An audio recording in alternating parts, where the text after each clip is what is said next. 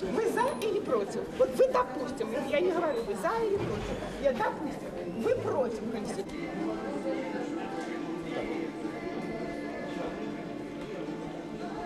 Стал бы упреждать, в принципе, эту ситуацию, но то, что э, нынешний референдум проводился с грубейшим нарушением норм закона о референдуме, это для всех очевидно. И самое главное нарушение заключается в том, что альтернативной точки зрения не было высказано ни на одном канале электронных средств массовой информации, уж не говоря о государственных печатных изданиях.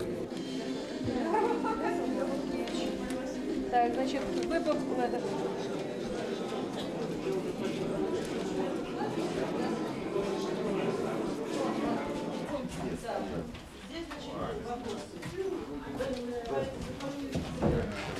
Für uns war dieses Referendum von Anfang an äh, illegal und zwar äh, insbesondere, weil es ja schon sehr zeitig eröffnet war und ohne irgendeine Kontrolle die ganze Zeit, so dass wir nicht den Anspruch erheben, dass wir äh, ein Referendum äh, auf seine Rechtmäßigkeit überprüfen, sondern unser Dasein hier ist vor allen Dingen gedacht als Unterstützung zwischen, äh, für das Parlament unserer Partner.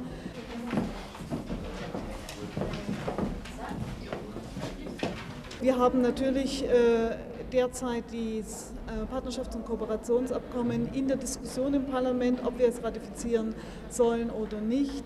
Bisher haben wir diesen Prozess gestoppt, weil die politische Situation äh, dem in keiner Weise entspricht.